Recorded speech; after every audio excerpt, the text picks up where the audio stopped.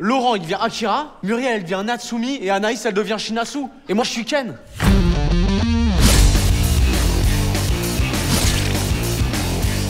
Par contre, rigole pas. Non, non, eh, je te jure, te marre pas C'est moi qui suis à l'écran, mec